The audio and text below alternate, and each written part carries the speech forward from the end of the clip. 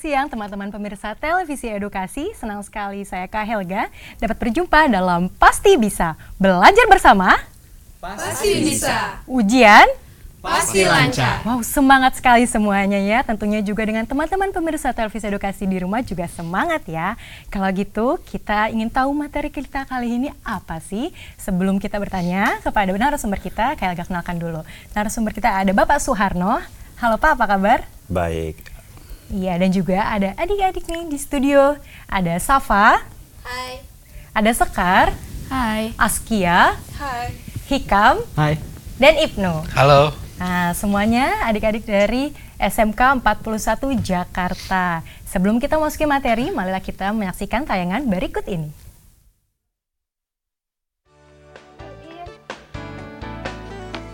Udin, Udin, Udin, have a look at this one.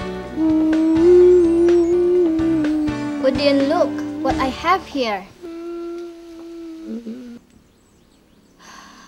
Udin, Udin, Why? Why did you do that? Dini, I'm trying to listen to some songs. Come on. stop listening to those music. I have some pictures of famous people. Let's see if you can tell me who they are. Alright, alright, show me. How about this one? Who is this man? It's simple. It's a Glenn Fredly. In Indonesia, his face is very popular. His songs are popular too. What makes you sure this man is Glenn Fredly? Of course, I know. If he is Glenn Fredly, do you know what his profession is? He has a famous singer, Dini. How about this lady? Who is she? Come on, Dini. It's Celine Dion. Everybody knows that. She's a successful, beautiful, and great singer from Canada. Mm-hmm. She has got many awards in singing. Yeah, you are right. Everybody knows Celine Dion. Ya, sesuai dengan tayangan yang baru saja teman-teman saksikan. Marilah kita langsung masuk pada materi kita kali ini. Saya serahkan pada Bapak Suharno. Materi kita kali ini apa Pak? Silahkan. Oke, terima kasih. Untuk teman-teman pemirsa televisi edukasi di rumah, silakan saksikan televisi edukasi di tva.kemdikbud.go.id. Bisa juga menyaksikan melalui YouTube, youtube.com slash tvedukasi. Dan juga bisa upload, bisa unduh aplikasinya di Play Store TV Edukasi. Silakan Baik. Pak. Baiklah para pemirsa eh, TV edukasi di rumah dan eh, di seluruh Indonesia serta anak-anak sekalian yang ada di studio. Eh, kesempatan kali ini kita akan discuss about listening comprehension. Ya, listening comprehension eh, yang diadakan atau dalam bentuk ujian di SMK itu terdiri dari empat bagian, yaitu terdiri dari picture, question and response, short conversation, dan short talk. Dan kita akan bahas satu persatu. Materi kita adalah yang pertama adalah picture. Picture itu adalah kita uh, describing, materinya ada describing, bisa describing people, describing activity, describing place, atau describing yang lain. Oke, picture the describing ya kita langsung Pak. Langsung. Ya, di sini ada direction. Ya, Listening comprehension. In this section of the test, you will have the chance to show how well you understand spoken English. There are four parts to this section with special directions for each part. Teman-teman di studio, sudah cukup jelas? Apa mau diulang kembali? Nah, marilah kita persilakan pada Bapak Suharno, Pak. Oke. Part 1 Directions. For Part 1 Directions. For each question, you will see a picture in your test book and you Part 1 Directions. For each question, you will see a picture in your test book and you will hear four short statements. The statements will be spoken just one time. They will not be printed in your test book, so you must listen carefully to understand what the speaker says. When you hear the four statements, look at the picture in your test book and choose the statement that best describes what you see in the picture. Then, on your answer sheet, find the number of the question and mark your answer. Baiklah Pak, kita langsung ke soal. Soalnya apa nih Pak? Baiklah, sebelum kita ke soal, kita berikan instruction mengenai direction. Kenapa sih listening harus ada direction? Karena direction itu memberikan motivasi kepada siswa, sehingga siswa tidak apa ya, mem- lebih jelas ya, Pak. lebih jelas dan ngikutin eh, Sesuai dengan Sesuai dengan materinya, temanya. Baik. temanya. Baiklah. Baiklah, langsung saja kita lihat eh, soal pertama. Sesuai dengan direction. Soal pertama. Look at the sample below. Now, Kan gambar ini. Bagaimana siapa yang bisa number mendescribe? one. Look at the picture marked number one in your test book. A. They're delivering newspapers.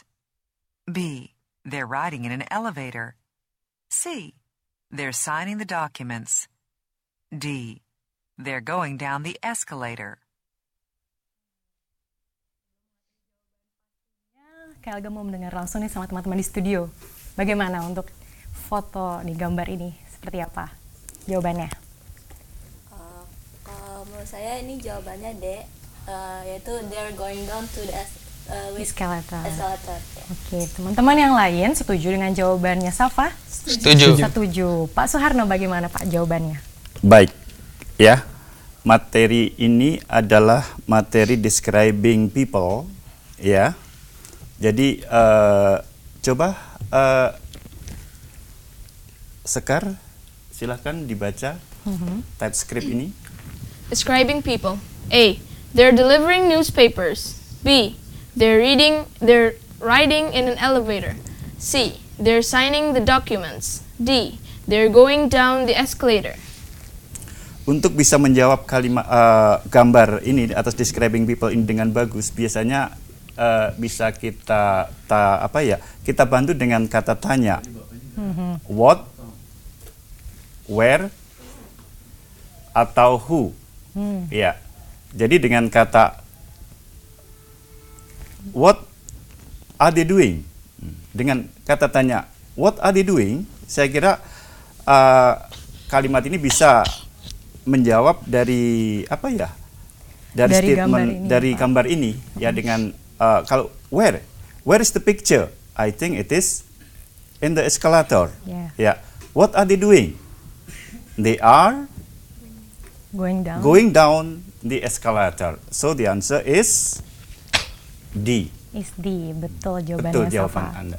Ya itu tipsnya ya. Jadi ada kita memperhatikan dulu dari buat pertanyaannya apa dari who, where Who, dan juga where, dan dengan what. Ya, Juga who dengan asking what. about people, where asking about pla- uh, place, and then uh, who uh, who asking uh, asking about people, place, and uh, where. what uh, activities. Oke, kita melihat apa yang sudah dilakukan sesuai dengan gambar. Sudah jelas dengan soal pertama? Sudah, sudah jelas. Kita langsung ke soal kedua. Akan mendescribe apa? Silahkan Pak. Coba dengarkan dengan bagus soal nomor dua. Number two. Look at the picture marked number two in your test book. A. The bridge crosses to the other shore. B. The ferry is carrying cars over the water. C. The boat is ready to tie up at the dock. D.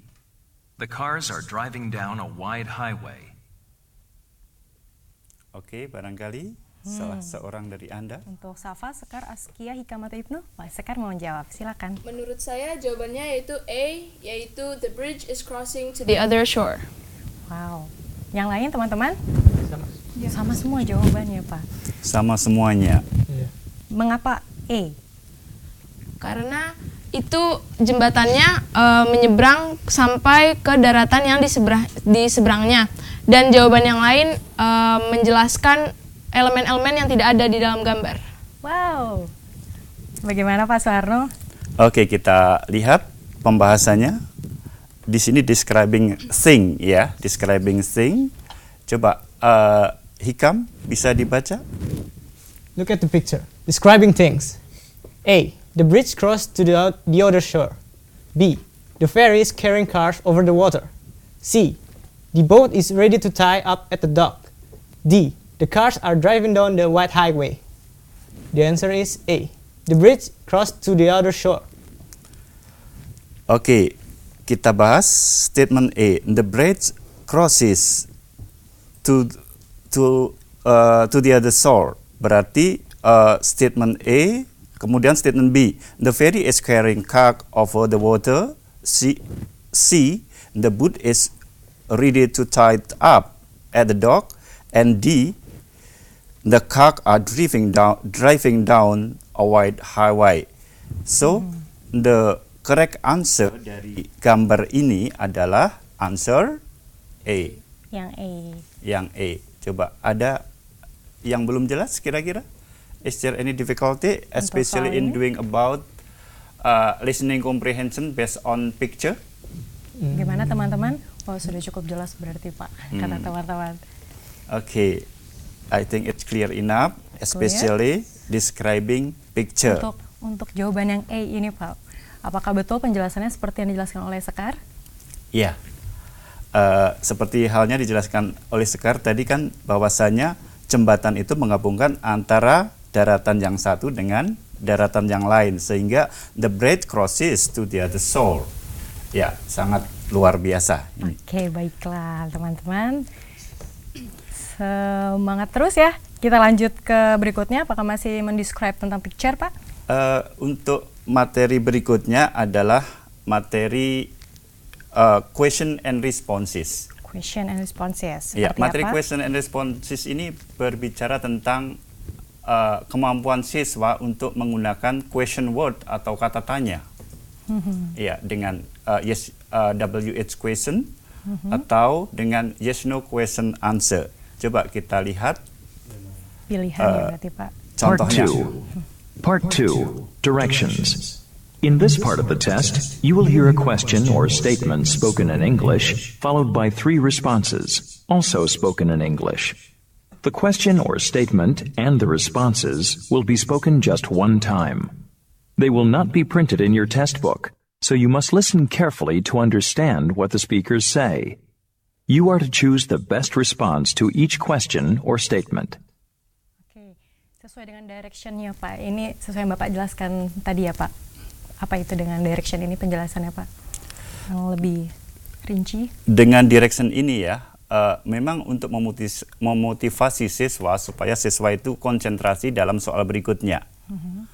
Uh, di sini adalah ada apa? Kemudian setelah ini ada simple sen- uh, simple sentence mengenai question and response. Silahkan. Now listen to a sample question. You will hear, Good morning, John. How are you? you will also hear A, I am fine, thank you. B, I am in the living room. C. My name is John. The best response to the question, How are you? is choice A. I am fine, thank you. Therefore, you should choose answer A. Eh, baiklah, sebelum kita lanjutkan ya Bu ya, eh, kita kasih penjelasan sebentar. This is the real listening comprehension usually used in SMK. The choice hanya tiga, siswa disediakan satu pertanyaan, diikuti tiga kemungkinan jawaban. Coba langsung ke Tiga pilihan. Kita langsung coba di mark your answer. Number three. Who was that on the phone? A. It's mine. B. It was my boss. C. It was on the desk. Oke, Kita exercise. langsung tanya sama teman-teman Ya. di studio Pak. Mm-mm. Silakan Number siapa three. yang Hmm. Who was that on the phone? A. It's mine. B. It was my boss. C. It was on the desk. Nah, silakan. Kita lihat nih. pilihannya tadi? Siapa yang bisa menjawab? Askia silakan. Eh, jawabannya menurut saya itu B. It was my boss. My boss. Ya. Mengapa menjawab yang B? Karena eh, pertanyaannya itu Who is that on the phone? Oh, menanyakan dengan siapa ya Pak ya? Iya. Pasnya setuju juga teman-teman yang lainnya ya Pak. Oke, silakan Pak. Baik, kita lihat dari eh, Pilihan jawabannya. pilihan jawabannya. Tolong Safa dibaca. Silakan Safa. The question, who was that on the phone? Uh, A, it's mine. B, it was my boss. C, it was on the desk. Oke, dari pertanyaan who was on the phone ini menanyakan orang, sehingga eh, Jawabannya. jawabannya A, it's mine, itu milik saya. B, itu eh, kemudian B, it was my boss. C, it was on the desk. Kalau in- it was my boss, oh, itu bos saya. Eh, it was on my desk, berarti itu eh, di atas meja. So the correct answer is it was my, was my boss. So the answer is B. Baiklah, sejauh ini nih pertanyaan ke satu, kedua, dan ketiga teman-teman paham? Sangat jelas ya. Sangat jelas. Wah, tentunya teman-teman televisi edukasi di rumah juga jelas. Jika ingin bertanya, nanti silakan telepon pada kami di telepon bebas pulsa 0800 140 3046. Sebelum lanjut, kita ke pembahasan selanjutnya. Kita break dulu ya. Kita break dulu untuk teman-teman televisi edukasi di rumah. Jangan ke mana-mana, tetap bersama kami di Pasti Bisa Belajar Bersama. Pasti bisa. Ujian Pasti lancar.